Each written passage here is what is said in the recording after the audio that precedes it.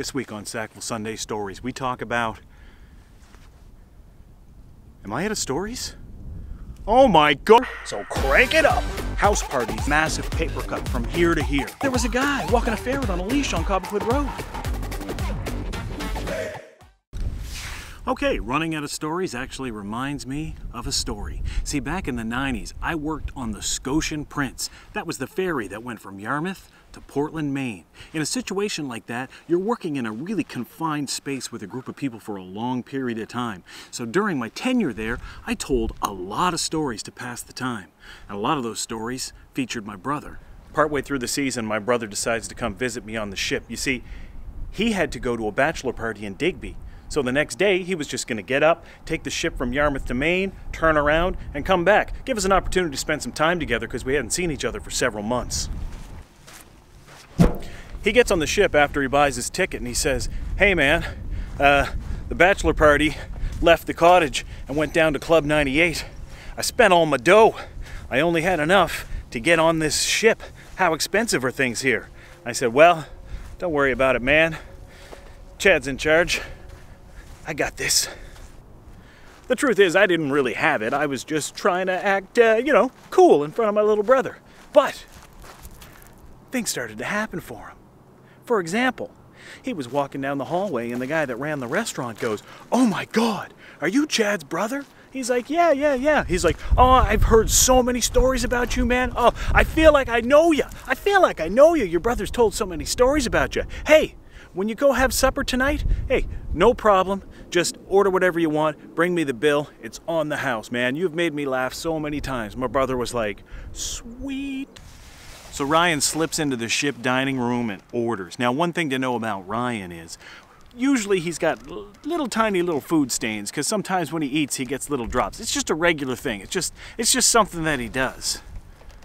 But after he finished dining, I was working in the casino and I saw him coming down the hall and he looked incredibly Hey. Excited. Hey, Chad! Chad! Seriously, man. Hey! Hey! Listen, I just ate spaghetti while at sea. Look at my shirt. There's nothing on it. I ate the whole thing, didn't get any spaghetti on me. Where's the casino? Because I am hot. I walked him down to the casino. Just as he was entering the doors, he turned around and looked at me and said, By the way, does this casino take Canadian or American currency? I said, American. He pulled out a little Sir John A. MacDonald $10 note and said, This is all I got. What's the conversion? I said, You're going to get $7.50 US. He goes, Huh, not ideal, but I'm on the streak. This shirt does not lie. He turned and, like Hannibal Lecter, just disappeared into the crowd of the casino goers. I didn't think much of it. I went back to work. About an hour and a half later, I saw him. I saw him laughing, pushing his way through the crowd. Yeah! Woo! Nice! Good one. I'll see you tonight. Yeah, you too. Yeah, no, awesome time. Awesome time. He comes walking up, pulls out a wad of cash. 400 US dollars, man. I told you I was on a hot streak. As we were talking about it, the manager of the hotel on the ship comes up and says, Hey, you're Chad's brother. Yeah, I heard so many great stories about you. Listen, we hardly sold any rooms on this trip. We're going to give you a free room. At this point, not even I, as skeptical as I am, could deny the power of that clean shirt. He was so impressed that he actually ate dinner on the ocean, didn't get anything on his shirt, and now he had $10 Canadian. He flipped that into $400 US. He got a free room. He got a free dinner. Then I took him downstairs to the crew bar. We walked inside. He's got $400 cash, walks up to order a beer. He says, How much is beer here? The guy says, Bottles of beer? Are 50 cents. Ryan was like, oh my God, his mind was blown. But that's when the hammer came down.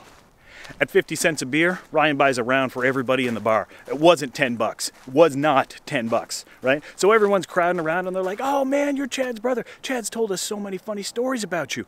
Why don't you tell us a funny story? Ryan's like, yeah, no problem. Takes a swig of his beer. He's like, one time, Chad and I decided to build a go kart, and they're like, "Yes, we heard that one. That was so funny." And he's like, "Oh, okay. Uh, uh, one time, uh, uh, Chad and I, we went to Rainbow Valley, right?" And they're like, "Oh, yes, with the little speedos. Yes, we heard that story too." Ryan's like, "Okay." Uh, one time, uh, Chad and I went hunting, and they're like, "Yes, we know that story." And Ryan's like, "Oh my God, I'm out of material. Chad had spent the last few months on there just clear cutting everything. I had told every story that actually existed over several months. Ryan was just standing there by his lonesome trying to come up with something.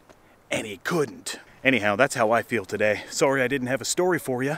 But I'll see you next week. My name is Chad, and this channel is for you. Whether you're an old school Sack villain or a new school Sack vegan, I'll see you next time on Sackville Sunday Stories. Sackville.live is brought to you in part by the Doctor's Formula, plant based supplements for professional athletes. And our friends at Quick Save Fuels on Cobequid Road. Go to quicksavefuels.com to save. And still going strong after 43 years, Kaiser Subs. Yum!